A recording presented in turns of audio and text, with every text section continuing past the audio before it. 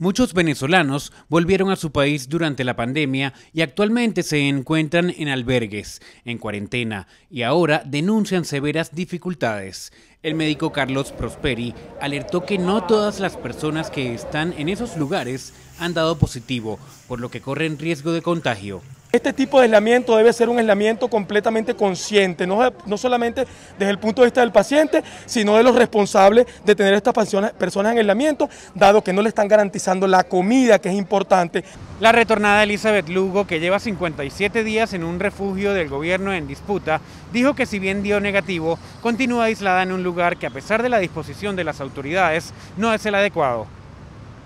Toda mi familia tiene la PCR negativa esto en, condiciones inhumanas. Aquí no tenemos vigilancia, ni tenemos un médico de guardia. Un refugio, un refugio tiene protocolos de seguridad, desinfectación, tiene policía y tiene ante todos doctores, porque estamos pasando por una pandemia mundial.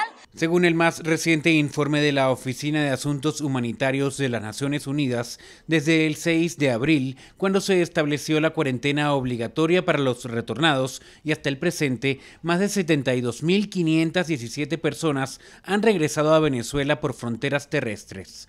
Álvaro Algarra, América, Caracas.